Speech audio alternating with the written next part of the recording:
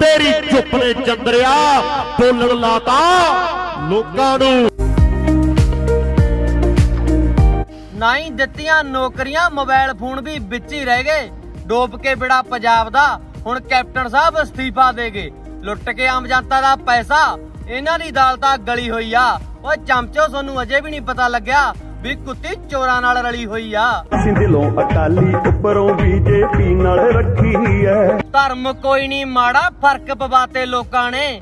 ਸਾਨੂੰ ਅੰਦਰੋਂ ਅੰਦਰੀ ਖਾਈ ਜਾਂਦੀਆਂ ਸਿਆਸਤੀ ਜੋਕਾਂ ਨੇ। ਦੇ ਕੇ ਲੱਕੜ ਦੇ ਮੁੰਡੇ ਸਾਲੇ ਚਾਰੀ ਜਾਂਦੇ ਨੇ। ਸਾਨੂੰ ਆਪਸ ਵਿੱਚ ਲੜਾ ਕੇ ਲੀਡਰ ਮਾਰੀ ਜਾਂਦੇ ਨੇ। ਨਿਤ ਕੰਟਰੋਵਰਸੀ ਕਰੇਟ ਮਿਲੂਗੀ ਧਰਮਾਂ ਦੇ ਨਾਮ ਤੇ ਡਿਬੇਟ